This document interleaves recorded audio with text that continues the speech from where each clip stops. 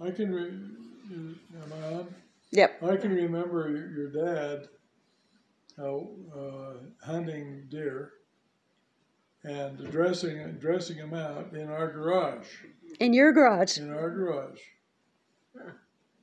Um, And this I- is where? um, in Ely. Ely. Okay. Hmm So you'd have been a, you you you were a young boy at the time then. No, I was just a young boy. Well, hmm I mean, I mean No, twelve or something. no, I'm I saying. don't know. I mean, I'm sure they must have been married. Maybe, maybe they were back uh,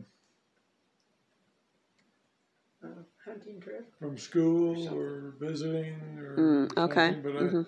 I have a very distinct memory of your dad dressing out a deer in our in On garage. Kenyon Street in Ely. Yeah, in Ely. Okay. And then back to your mom. Um, there's one thing that I wish I could have her teach me how to do. Two things, actually. and now I'm talking about food. one of those things is fried chicken. I would love to have her just sit me down, teach us how to do fried chicken. We used to have a lot yeah. in our day. And, and the other Especially thing, down south where we lived, we had Yeah. fried chicken. And the other thing is uh, is the uh, banana omelet. Oh yeah. I would love They're really to- more crepes, you know. really, yeah. Yeah. And also, what, what about the bacon cookies? The bacon grease. Bacon cook- grease cookies. bacon grease cookies. Mm-hmm. Yeah. Just Bacon grease always cookies. saving bacon Yeah, grease. that's right. Yep. Not the healthiest cookie in the world. cookies. Now, while you got that going, I'll tell you a story about Mike. Mike, my brother. Yeah, if Oh, you, Okay. if you want one about your brother. Yeah. uh, when I was living when I was living back there with him, just before my mission, Mike was uh, five, okay. And um,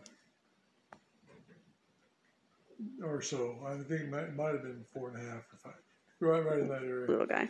And and there was a there was a uh, primary program, sacrament meeting primary program, and uh, Mike Michael was uh, asked d- during the program, the, the, uh, the whoever was conducting the thing, uh, and they had microphones, you know, and all the stuff for the kids.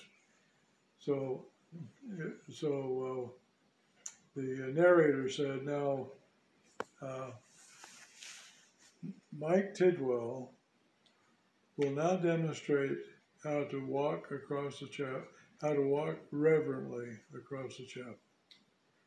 And so he came out, folded his arms, started to walk reverently across the chapel, and tripped on a wire of one of these microphones Oh. and and then fell down and then tried to get back up and the microphone just kept flopping over the place. And I have never in my life heard so much laughter in an LDS sacrament meeting. I mean, for me as a 19 year old kid, I thought, oh, this is this is one of the best meetings I've ever been to. It was the noisiest reverend. That's funny. So Oh, my goodness. Michael feel? Was he embarrassed? You know, I doubt it. Um, he probably doesn't even remember it, be my guess. I will remind him. That's a